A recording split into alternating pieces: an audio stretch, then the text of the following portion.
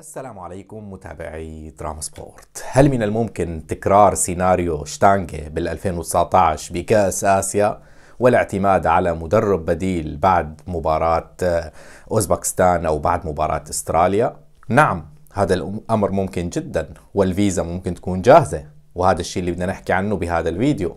لكن قبل ما نفوت بالتفاصيل بتمنى إذا عجبك الفيديو تعمل اشتراك بالقناة تفعل زر الجرس ولا تبخل علينا بال like. يلا على التفاصيل.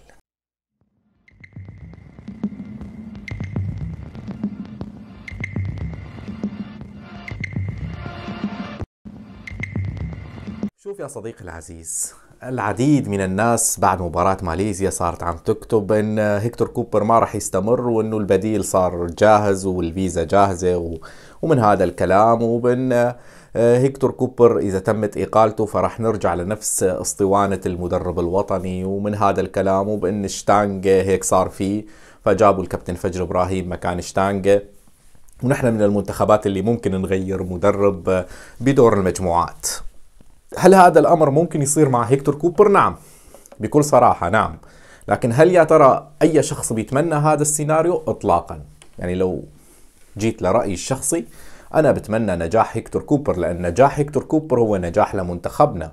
آه نجاح هيكتور كوبر هو واستمرار هيكتور كوبر هو نجاح للمنتخب. فبالتالي هذا السيناريو آه اطلاقا ماني حابه اطلاقا مو بودي إني اشوفه واطلاقا ماني حابب إنه اكون مقتنع فيه. حابب هيكتور كوبر يستمر مع المنتخب بغض النظر عن أي انتقاد أي كلام نحكيه لكن حابب يستمر مع المنتخب. على الأقل لنهاية بطولة كأس آسيا. وطالما إذا استمر لنهاية بطولة كأس آسيا بدور المجموعات فبالتالي إن شاء الله تكون النتائج جيدة. طيب شو هو الشيء اللي ممكن ينقال فيه هيكتور كوبر؟ قولا واحدا يعني هذا الأمر ما راح يكون قابل للجدال. إذا لا سمح الله تعرضنا للخسارة أمام أوزبكستان 5-0 هون حتى هيكتور كوبر بذات نفسه ممكن يقدم الاستقالة. هيكتور كوبر أمام كوريا الشمالية حقق الفوز وقدم الاستقالة. فكيف إذا تعرض للخسارة لا سمح الله 5-0 أو أو 4-0 أو 3-0 وبنتيجة هزيلة ومستوى سيء؟ أكيد أكيد. يعني يا أما راح يقدم الاستقالة أو اتحاد كرة القدم راح يقيل المدرب. فهذا الأمر يعني رايح بهذا الاتجاه. لكن إذا مثلا هيكتور كوبر عمل مباراة جيدة أمام أوزبكستان يا عمي تعادلنا أو إذا تعادلنا ممتاز. لكن إذا خسرنا بنتيجة 2-1 وقدمنا مستوى نوعا ما مقبول وكان مستوانا جيد وماشيين بالموضوع فالشيء البديهي والشيء الطبيعي إنك ما تقيل هيكتور كوبر. ما بتعرف شو ممكن يصير بمباراة استراليا. طالما أنت بمباراة أوزبكستان الأولى ما كنت سيء ما كنت كارثي حتى لو خسرت لا سمح الله بنتيجة 1-0 أو 2-0 أو 2-1 ممكن تعمل شيء قدام استراليا. يعني نفترض على هذا الموضوع يعني إنه في استقرار فني الاستمرار على هذا الاستقرار الفني. لكن مثل ما حكينا كمان إذا أنت تعرضت للخسارة بالأربعة والخمسه ما راح يكون في استقرار فني. أنت راح تفوت لمباراة استراليا لحتى تخسر كمان بنفس النتيجة. هذا هو الفارق. فبالتالي الأمر يتعلق بنتيجة أول مباراة. مباراة أوزبكستان هي اللي راح تحدد مو بس مصير هيكتور كوبر مصير منتخبنا بكأس آسيا. يعني مباراة أوزبكستان هي المفصلية. تعادلنا ممتاز جدا التعادل ممتاز جدا. إذا فزنا أكيد فرحة ومعجزة و و راح تشوفوني عم برقص اليوم. يعني بالمباراة راح تشوفوني شخص آخر مختلف تماما. وإذا خسرنا حتى لو كانت النتيجة يعني فارق ضئيل. بصراحة ما راح أكون مزعوج بشكل كبير. بس أسوأ سيناريو ممكن يخص المنتخب أنه نخسر بنتيجة كبيرة. نخسر بنتيجة كبيرة. هذا أكثر سيناريو أنا خايف منه. هذا السيناريو حدث مع هيكتور كوبر سابقا لما درب منتخب أوزبكستان. أوزبكستان دائما كان منافس ودائما قوي. بفترة من فترات هيكتور كوبر تعرض للخسارة أمام فلسطين كان بآخر الترتيب الفريق كان مهترئ دفاعيا كان أوزبكستان سيء أوزبكستان كان كان بمرحلة سيئة وكارثية من جميع النواحي يعني بعقم دفاعي وهجومي مع هيكتور كوبر. فتمت إقالة هيكتور كوبر. لم يصبر الاتحاد الأوزبكي على المدرب. لذلك نحن عم نحكي عن سيناريوهات ممكن أن تحدث. يعني الناس اللي عم تسأل وعم تحكي من هل يا ترى ممكن تتم إقالة هيكتور كوبر؟ نعم. نحن لدينا يعني تجارب سابقة والتجربة مانا بعيدة يعني ببطولة كأس آسيا الماضيه تمت إقالة شتانجا وتعيين الكابتن فجر إبراهيم. جابوه من الشام للإمارات والفيزا كانت جاهزة.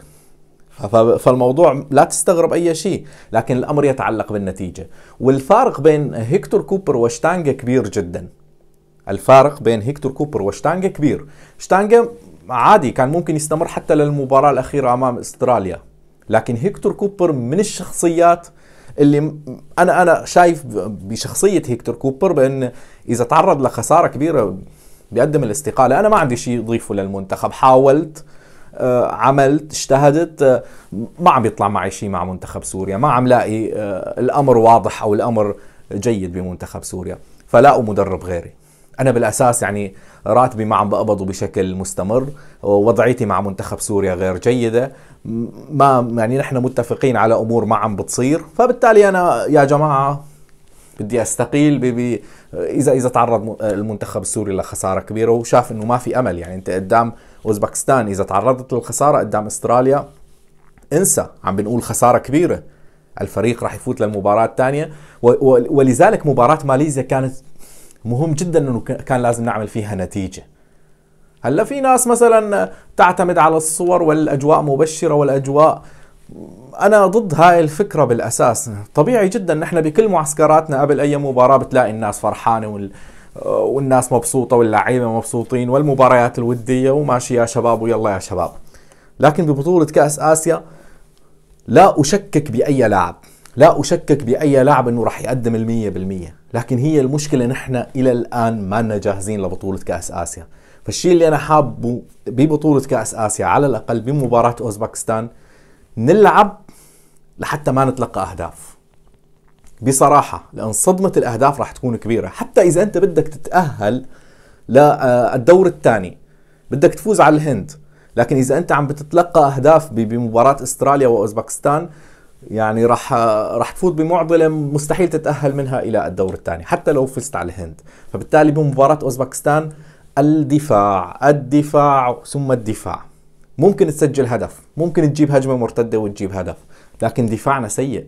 دفاعنا سيء. هاي هي المشكلة اللي لازم هيكتور كوبر يحلها ليوم السبت القادم. وبظن يعني ال الوقت جدا ضئيل. الوقت جدا ضئيل لدى هيكتور كوبر. واللاعبين الموجودين اللي ممكن بخط الدفاع وبحراسة المرمى ما عم بيأدوا إلى الآن الشيء المطلوب لأن أنت قدام قرغيزستان عم تأكل أهداف. آه، آه، قدام آه، ماليزيا أكلت هدفين. يا جماعة كلياتنا حابين إنه نعمل نتيجة. لازم نحكي بمنطقية. حاليا في مدربين جاهزين لتولي تدريب المنتخب. لا تستغرب هذا الشيء. لا تستغرب أي شيء. لكن من قناعاتي الشخصية إذا استقال حتى ممكن ما تتم إقالة هيكتور كوبر. إذا استقال هيكتور كوبر ممكن يستمر الكابتن غسان معتوق كمدرب مؤقت لحتى يتم التعاقد مع مدرب ثاني وبذلك نحن عم نرجع لنقطة الصفر. لنقطة الصفر. لذلك يا جماعة أنا مرعوب من هذا السيناريو. عم بحكي لك عنه لكن مرعوب جدا. لو بإيدي أنا بتمنى استمرار هيكتور كوبر. لأن استمرار هيكتور كوبر يعني نجاح المنتخب. استمرار هيكتور كوبر بتدريب المنتخب يعني عم بيعمل نتائج ويعني نجاح المنتخب. استمرار هيكتور كوبر. يعني للدور الثاني أو الدور ربع النهائي يعني نجاح المنتخب ونجاح هيكتور كوبر. فاستمراره جدا مهم. أنت قدامك بعد بعد بطولة كأس آسيا قدامك مبارتين قدام ميانمار وبعدها بشهرين قدام اليابان وكوريا الشمالية. نحن إلى الآن حتى بالتصفيات. إذا نحن عم بنفكر فقط بكأس آسيا الأمر سيء. نحن كمان لا عم بنفكر حاليا بكأس العالم بتصفيات كأس العالم. حققنا فوز على كوريا الشمالية. نعم خسرنا مع اليابان لكن لازم تكون نتائج ميانمار مضمونة ونلعب مباراة كوريا الشمالية. نحن إلى الآن ما ضمننا التأهل من هاي المجموعة. بعرف أنا عم بحكي بحديث بعيد ممكن يكون عن كأس آسيا لكن هاي هي الرؤية والاستراتيجية اللي لازم نبني عليها. هيكتور كوبر استمراره أنا أنا مع استمراره مع نجاحه. دائما أنا مع المدرب الأجنبي على فكرة يعني ضد آه، تهمة المدرب الوطني بشكل كامل. بس لازم المدرب الأجنبي يكون مقتنع بين منتخب سوريا قادر إنه يوصل للمباراة النهائية أو يوصل للتصف آه، عفوا المباراه النهائيه شو مباراة النهائيه دور ثاني أو نوصل لبطولة كأس العالم. لازم نشتغل على هذا الشيء. لازم يكون مقتنع المدرب يكون مقتنع. يعني أنا تصريح عصام الحضري عن كون بان هيكتور كوبر بعد مباراة كوريا الشمالية طلب الاستقالة أمر صعب صعب ك متابع كشخص عم بيتابع كرة القدم صعب. هذا المدرب قبل قبل شهرين عم عم بيطلب الاستقالة قبل بطولة كأس آسيا. فهذا الأمر اللي اللي عم بيخليني أتوجس خاف. هل يا ترى هاي الاستمرارية راح تكون موجودة؟ أنا مع الاستمرارية. مع الشغل. هلا نحن ما اشتغلنا عام كامل لكن إن شاء الله إن شاء الله نعمل هاي الطفرة والمعجزة ببطولة كأس آسيا ونشتغل ونبني على بطولة كأس آسيا. ما بدنا تخلص بطولة كأس آسيا ونبني على مباراة ميانمار. يعني صدقا هذا هذا الهاجس الأكبر اللي لازم يفكر فيه أي مشجع متابع لكرة القدم وليس مشجع. المشجع وظيفته يشجع المنتخب فقط يعني. المتابع والمحلل والمدرب والشخص اللي عم بيشتغل بمكان المسؤولية. لا أنت شغلتك تفكر باستراتيجية برؤية. هذا المنتخب لوين راح يوصل؟ مو بس نفكر فقط بشكل آني. خسرنا قدام اوزباكستان خلص انتهت كل الأمور بننسى كل شيء وانتهى المنتخب وهذا المنتخب ما بيسوى وهذا المنتخب ما, ما لا يستحق المتابعة. لا لازم نبني على هذا المنتخب. حتى اللاعبين الجداد اللي معنا إن شاء الله يستمروا لبعد بطولة كأس آسيا معنا. ما يتركونا بعد نهاية بطولة كأس آسيا. كل هذا الأمر مبني على النجاح. نحن مضغوطين بالنجاح محتاجين للنجاح. النجاح ببطولة كأس آسيا نحن مجبرين على النجاح.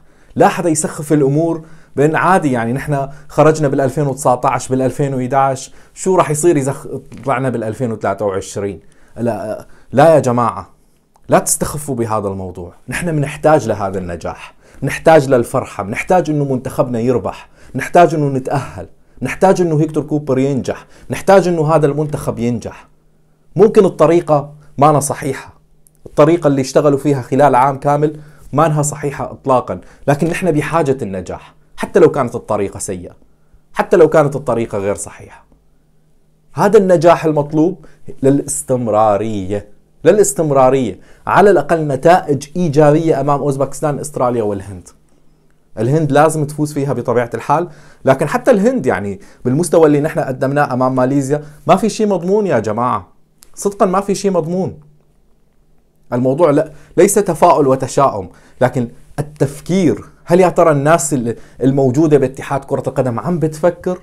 شو ممكن يصير؟ شو هي السيناريوهات؟ كيف ممكن ينجح هذا المنتخب؟ ما أنتوا قلتوا الدوري نحن ما لنا علاقة فيه. بريتوا الذمة بالدوري السوري. هذا الدوري ما لنا علاقة فيه ولا يعنينا. نحن شغلنا منتخب.